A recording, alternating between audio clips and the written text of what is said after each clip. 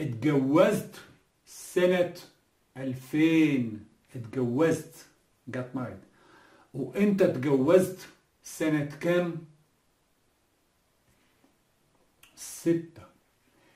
أنا وزوجتي وابني ساكنين في الشقة في القاهرة. زوجتي is my wife.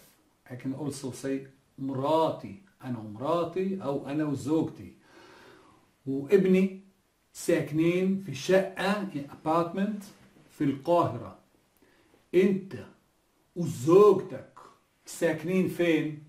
أنت وزوجتك you and your wife. If it's if you're a student if you're a girl I will ask you أنت وزوجك. So زوج زوجة. زوجك زوجتك سبعة. أنا بشتغل دليل سياحة. أنا بشتغل دليل سياحة. I work as a tour guide. وحضرتك بتشتغل إيه okay. Uh, take your time and read about the verbs.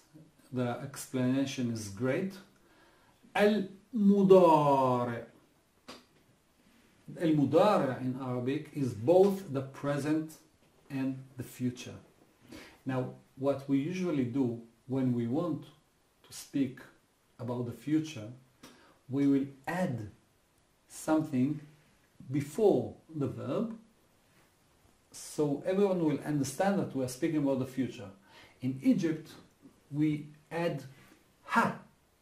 So instead of saying ashufak, ashufak, I see you, I will say ha ashufak, hashufak.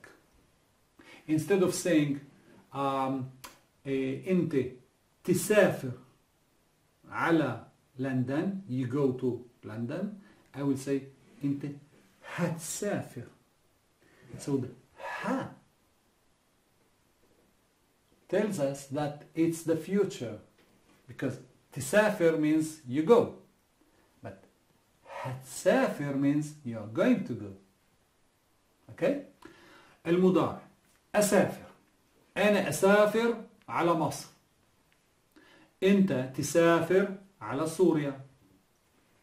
أنت تسافري على القدس. هو يسافر على السعودية. هي تسافر على العراق. إحنا نسافر على تونس. أنتوا تسافروا على دبي. وهم يسافروا على أبو ظبي.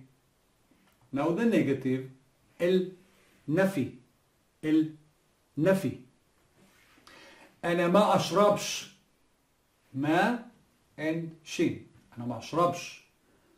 أنت ما تشربش.